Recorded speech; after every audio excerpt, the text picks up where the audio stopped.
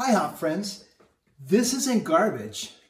This is future soil for plants to grow. Reason number one to compost. Composting reduces landfill waste and incineration or burning of garbage. As a result, there is less emissions or air pollution. If these food scraps are placed in the garbage and get carried away to a landfill, they might uh, not decompose or break down into soil and they will create a gas called methane, which is a greenhouse gas that warms our planet or changes our climate, just like carbon dioxide. I'm going to show you where we should put these. Reason number two to compost. Composting food scraps creates rich soil full of nutrients for your plants. Sequoia and I love this spot in our garden. And what I call this is the chop and drop method of composting. I just drop the food that was in my little compost pail. I chop it up, drop and chop, and it's going to turn back into soil. Now, if I want that to go even faster, I'll add some carbon-rich uh, materials like these leaves. And if I wanted to help out those microorganisms in there, I'll add a little bit of water.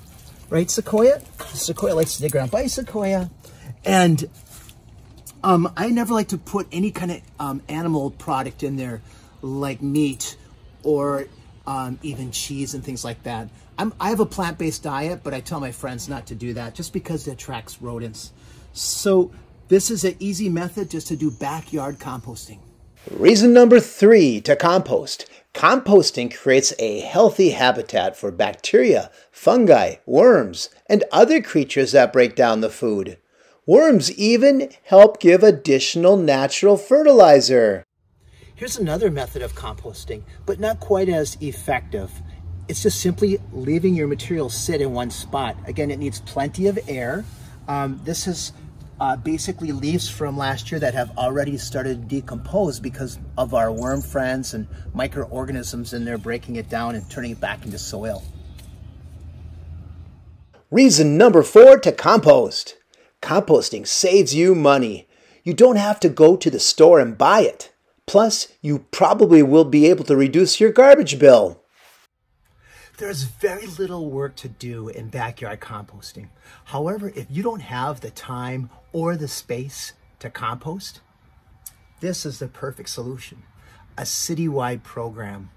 I love my citywide program, especially in the wintertime when it's too cold for me to compost in my backyard. There are other advantages to citywide composting too, which you're going to learn about in a future HOP episode on commercial composting. Let's take a look at the compost that I will be putting in here today. Here's my organics pail, which goes in my kitchen that uh, tells me what I can and cannot compost. Let's see what's in this biodegradable plant-based compost bag that will go right in the container. Ooh, I've got some apple cores, coffee grounds, looks like an old lemon, and maybe some cucumbers. That's all going to go to the commercial compost site to make soil. Reason number five to compost. Composting creates healthy soil free from chemical fertilizers. Healthy soils give us healthy food.